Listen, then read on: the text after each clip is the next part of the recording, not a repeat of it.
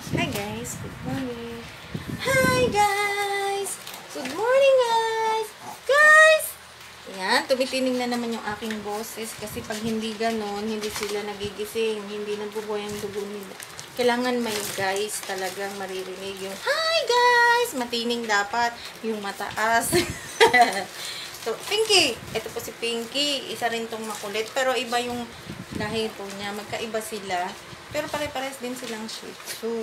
Ito nga lang, liver line siya. Kasi ng Shih Tzu. Tapos ito po yung tatay nila, si Jasper. Ang Jasper na pinakamabait na aso. At ang nanay nila, si Denise, na ayun, nagsisiksik lagi sa sulo. Yan, may sarili siyang mundo. So, hindi ko na siya i-story. Ang gagawin ko today ay gagawa po ako ng review para sa marami na akong na-try na gamot sa puto. Um, una, ah, marami na talaga yung, yung gamot na po, ano, ano na lang po, mga shampoo, sabon, nabibili ko dun sa Cartima. So, ito, na-try ko rin to, binili ko rin ko yun sa Cartima. Kala ko nakatanggal din ng puto ng mga aso, o puta. Parang wala naman, walang effect. Tapos, bumili din ako nito kasi napakadami talaga noon ng photo nila ni Jasper, ni Pinky, at ni Denise na kahawa-hawa sila. So, ito bumili po ako nito, Prip, Priponil, Pripronil. Yan, 500 pesos na ito sa Cartima. Ang bisa niya, una, ah, parang nahilo lang yung mga photo. Tapos, yung medyo may namamatay naman po. Pero hindi talaga as in lahat.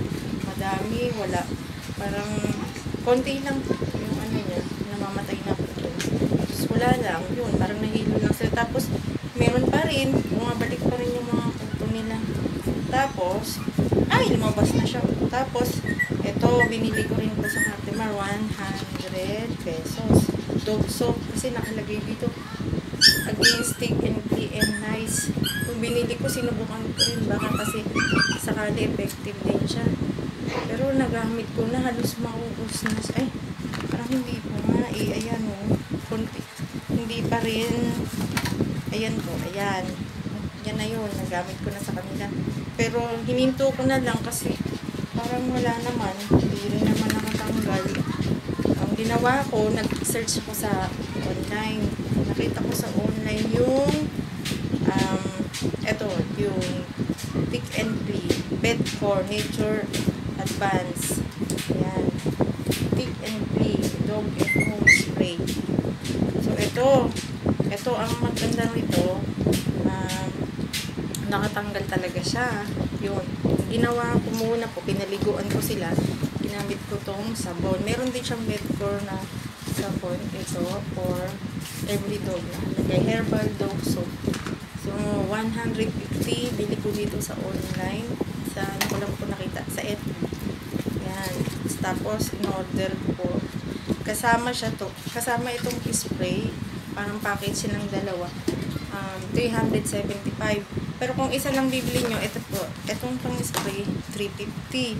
Tapos, itong sabon, 150. Yan. So, umorder ulit ako kasi naubos na yung unang order ko ng sabon. Naubos na. Umorder ulit ako ng dalawa. Ito. Pero yung spray hindi na po. Ito lang. So, dalawa to. Yun. Okay naman po. Kasi kaya umorder ulit ako kasi effective siya. So, talagang as in nawala po yung mga puso nila. Parang one week or two days nga lang po. Parang two days wala na. Nawala din yung puto nila. As in tinitingnan ko po isa-isa yung mga balahibo nila. Wala na talaga. So, yun. Natuwa ako kasi effective talaga siya. Kaya, ito na lagi talaga binibili ko. Pero depende naman po sa mga klase ng aso or buhok. Kasi yung iba po, yung kahit karaniwang pang gamot lang sa puto, natatanggal siya. Yun, mga ganun. Pero yung sa akin talaga hindi ko alam kasi may mga maliliit pa talaga po siyang dito sa katawan nila, sa balat, hindi natatanggal eh. Pero nung sinubukan ko nga to, pinaliguan ko muna si dito, ito gamit ko sabon. Tapos pagkatapos medyo basa-basa pa sila, hindi ko pa hindi pa talagang tuyo. Ginawa ko ni spray ko nito. Spray ko siya. Yung spray ko, yun, after parang 2 days lang po, wala na. Wala na yung mga photo nila. So, ito din.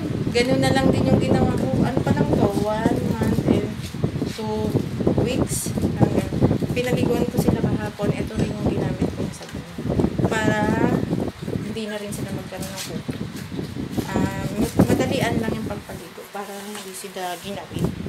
So, ayan yung aking review para dito sa mga product na to na yan, yung mga nagamit ko. Ano na siya.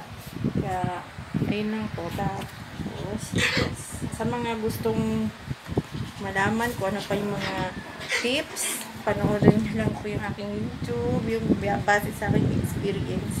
Yun lang. Maraming salamat. And, good day.